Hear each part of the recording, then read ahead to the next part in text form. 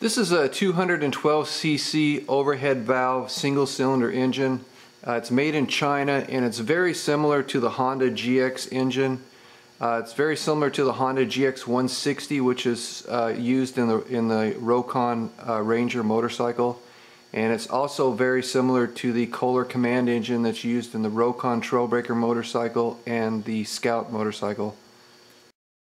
Rokon motorcycles are 2x2 uh, type vehicles and what I mean by that is the engine on the motorcycle sends power to the rear wheel and the front wheel. Um, before 1994 all Rokon motorcycles were powered by two-stroke engines but after 1994 I think because of uh, EPA restrictions they switched over to a, a four-stroke engine so now all the Rokons sold are uh, either powered by the uh, Kohler command engine or the Honda GX 160.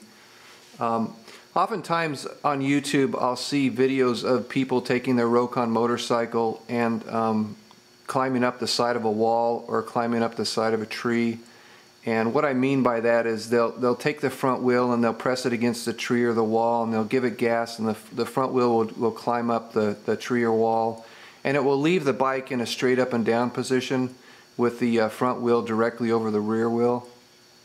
And that's not a problem if the, if the Rokon is a pre-1994 model and it's running a two-stroke engine. But if it's got a four-stroke engine, uh, it's a problem because of the way the lubrication system works on, works on these engines.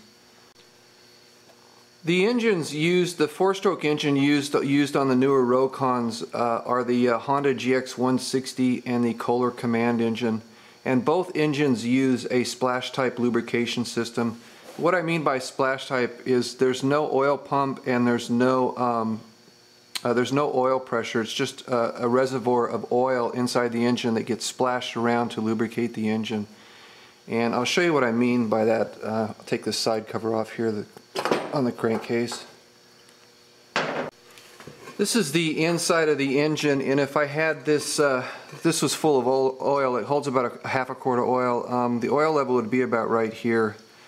And the way that, that a splash oil system works is um, there's usually a piece either attached to the rod end cap bolt or it's part of the rod end cap like it is here. Um, this piece right here is called an oil dipper.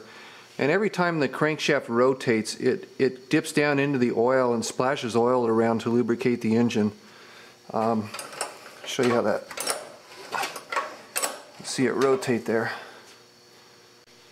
This system works good as long as there's plenty of oil in here and um, this dipper can, can make contact and reach down and flip the oil around.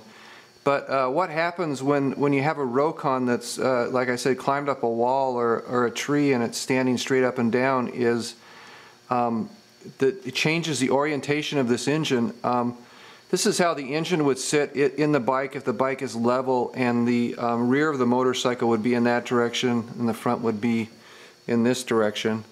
Um, so uh, when, you, when you're standing straight up and down, it's going to turn this uh, 90 degrees this way and it's going to it's going to completely change how the oil sets in this engine.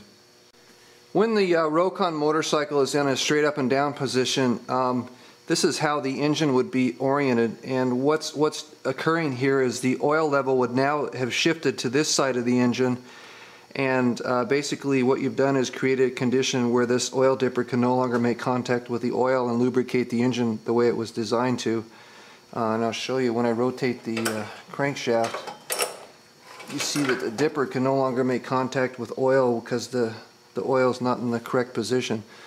I think Rokon recommends that you never exceed a 60 degree incline um, with their bikes and this is the reason why. Also with these uh, splash type lubrication systems there's no oil filter so there's no way to get rid of the contaminants in the engine oil except by changing the oil. So it's real important to change the oil on a regular basis and not wait too much, wait too much, wait too long between oil changes. Um, also because this, this system is kind of dependent on the level of the oil and this dipper making good contact with the oil, uh, you should always check the oil level and make sure it's at the proper height before you run the engine. So anyway, that's how a uh, splash type lubrication system works and why you shouldn't uh, stand your uh, Rokon, four-stroke Rokon straight up and down. Hope you enjoyed the video and thank you for watching.